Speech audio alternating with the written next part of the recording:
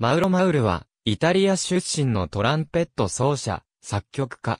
1985年から、ローマ歌劇場管弦楽団の首席トランペット奏者を務める。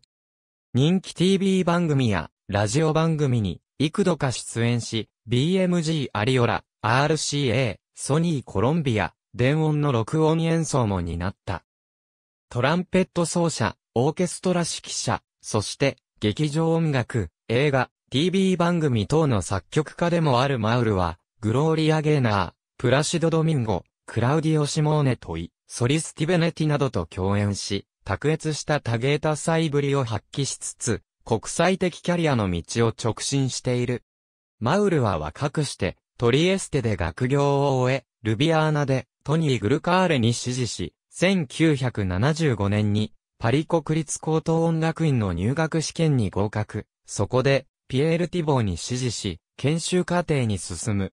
音楽院の研修生だった当時、トゥールーズキャピトル国立管弦楽団の第一、トランペットのオーディションに合格する。18歳より、フランスで有名なオルガン奏者たちからソリストとして、リクエストされ、室内管弦楽団からも主要な音楽祭での共演の依頼を受ける。シカゴノースウェスタン大学で、アドルフ・ハーセス、ヴィンセント・チコビッツ、アーノルド・ジェイコブズらに師事し、研修課程を修了する。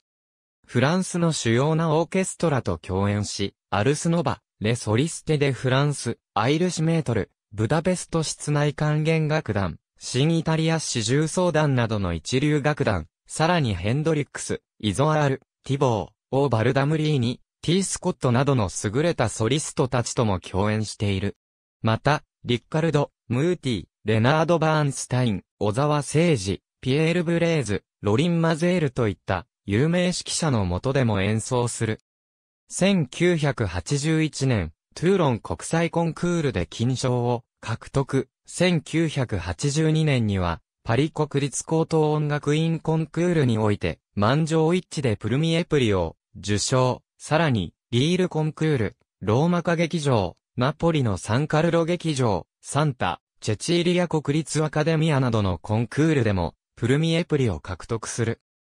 世界の一流室内管弦楽団で演奏し、その中には、ニューヨークのカーネギーホールや、リンカーンセンター、ロサンゼルスのハリウッドボール、ボストンのシンフォニーホール、ドレスデン国立歌劇場、ミュンヘンのヘラクレスザール、ザルツブルク音楽祭、ウィーンの祝祭劇場、パリのサルプレール、メガロンアテネ、ソウルの芸術の殿堂、東京のサントリーホール、ローマの新サンタチェチーリアオーディトリウム、ベネツィアのフェニーチェ劇場、ミラノのスカラザなどがあり、その他多数の舞台で、タルティーニ、アルビノーニ、ハイドン、フンメル、テレマン、モリコーネ、ピッチョーニ、ロータ、ジョリベなどの音楽を演奏する。著名な作曲家たちもマウルに曲を捧げた。その中には、モリコーネ、テオドラキス、ブソッティ、クレメンティ、ブラドなど、その他多くの有名作曲家たちがいる。